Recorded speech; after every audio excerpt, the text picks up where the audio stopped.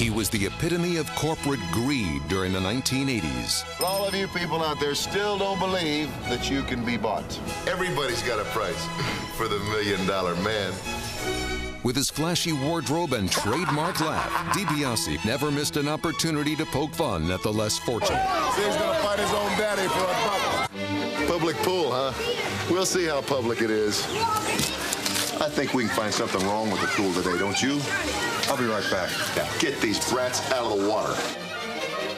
If you can dribble this basketball 15 times, I'm going to give you $500. Well, 13, 14.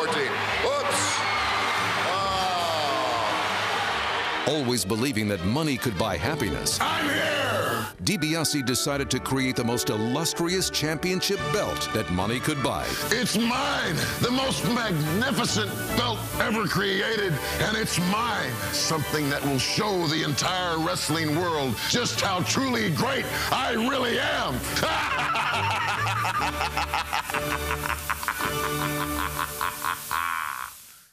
As the Million Dollar Champion, DiBiase would put his money where his mouth is, showcasing his endless wealth of knowledge in the ring. Ted DiBiase setting up the million dollar dream.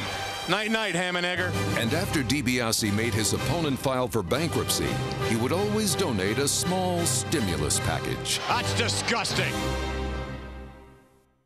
Ted DiBiase was a superstar that spoke the truth. Money isn't everything. It's the only thing. making fans do just demeaning things for money. Bark like dogs. Man, that's messed up. He bribed Bobby Heenan to get Hercules. That was priceless. Thank you very, very much. Thank you very, very much. Mr. Hercules, the party's over. now, now, uh, wait a minute.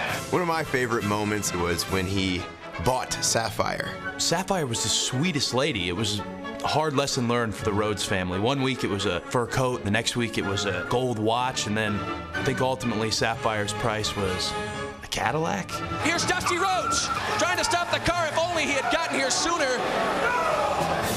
The Million Dollar Man's attempted purchase of the WWE title, that was just awesome.